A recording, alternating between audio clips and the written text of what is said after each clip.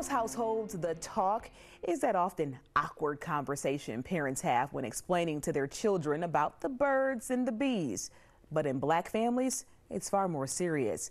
It's about getting home safely. We're talking life and death. So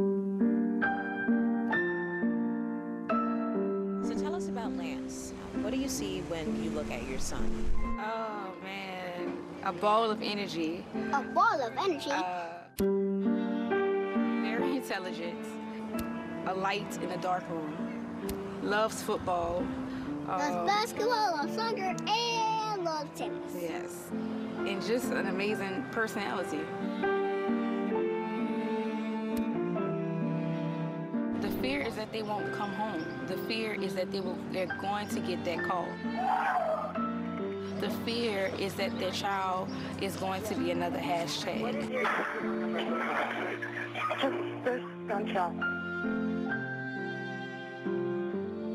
I do not want him to grow up with anger in his heart to hate uh, and disrespect authority when it comes to uh, police uh, or anyone for that matter. Speak to Lance if this were Lance in the camera and you were having the talk with him.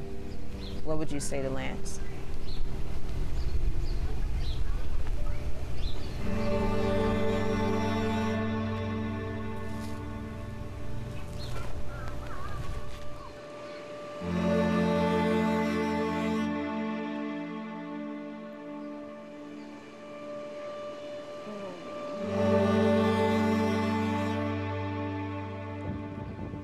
I shouldn't have to have this conversation with my son.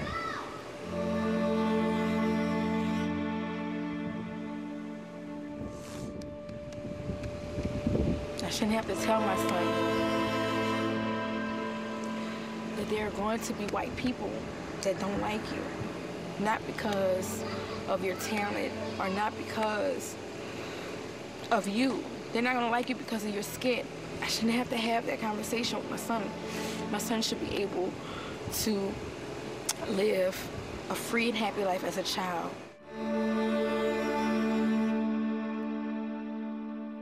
My son has a heart full of love, and I feel like having that conversation with him will put hate into his heart with people, and I don't want that for him. I don't.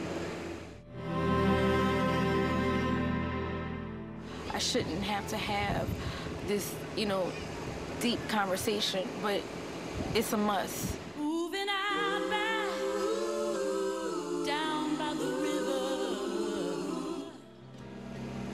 It's frustrating that nobody understands but us.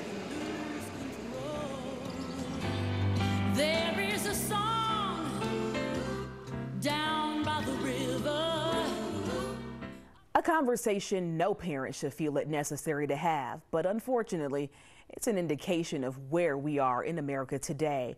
So, where do we go from here?